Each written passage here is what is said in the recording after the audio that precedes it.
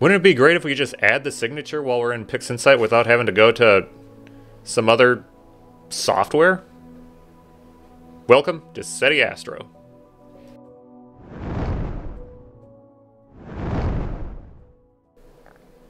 Now we've all resorted to using third-party software and the thing that I find perplexing is PixInsight is very stern about utilizing third-party software integrating with PixInsight because they don't want any competition.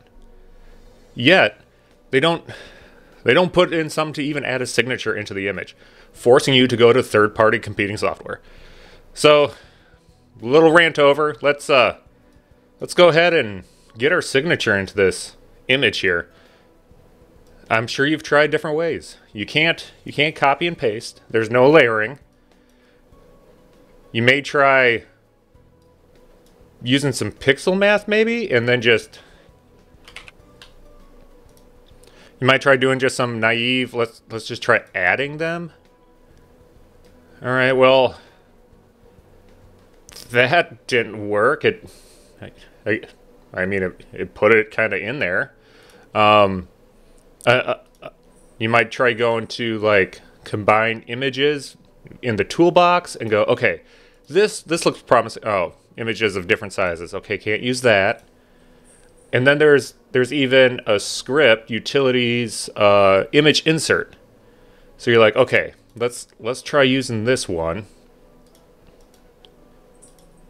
Okay, we can put it at the the bottom left. This looking good. Just hit OK and then you're like, ugh, it doesn't, the transparency doesn't work. So currently, there there wasn't any way of really putting your signature in like you would in some layer-based photo editing software. Until now, I want to introduce my Astromark signature adder. You can find it under Script, SETI Astro, Astromark signature adder. So what you do is select your base image, select your signature image. It's going to go ahead and then populate the preview for you. You could use the mouse wheels to zoom in and out. You could also use the the buttons up here. Shift click uh, and drag. You could drag your your signature around. And then I even have some sliders here for rotation, uh, depending on how you want to rotate it, you can decrease the size or you can increase the size. And then you could even adjust the opacity of your of your signature. And then you just, you know, place it where you want in your image and click execute. And it's going to go ahead and put your signature in. And there it is. Look the transparencies work. It was lighter because we set the opacity down. It resized it how we wanted it. This is what we've been looking for in PixInsight. Just a way to add your signature because we all have those nice images that have the transparency, so it's just our signature coming through. This is what we've been looking for. So, so here's the script for it. Uh, I got a couple other examples just to show how it works here's a grayscale image and adding the signature to this will preserve the the color as well. So here's a channel member's signature that uh, we were using as some some testing in the original beta. If you guys want to be a, a channel member and come test these scripts uh, as well as I'm developing them, we'd, we'd love to have you. But you know, you can go ahead and, and drag it around, adjust the opacity, whatever, and uh, execute.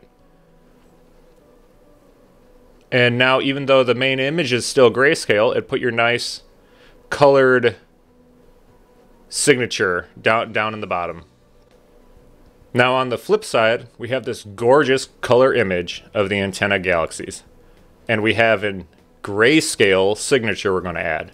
But it it handles it just fine. Just go to the Astromark signature adder. We have the antenna. we have our signature. And in this case, the, the signature is, is quite large. So we're definitely going to want to reduce the size of that. Shift click to add it where we want. Maybe we want to adjust the opacity down. And then just click execute. And there it is. It, it's in our image now. Um, signature added.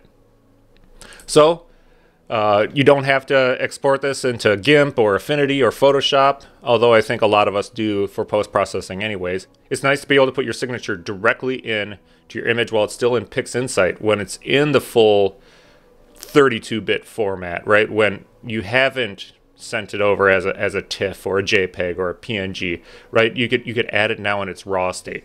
I've also updated my website, SetiAstro.com, under PixInsight scripts. You can go ahead and just uh, click that link. I have the link to the repository, which is the, the best way to go about adding my scripts. Or you can go ahead and scroll all the way down to the latest here, Astromark Signature Adder. It does have the standalone uh, link there, or you can click on the picture to get the zip. I hope you guys find this tool useful. Please comment, like, and subscribe.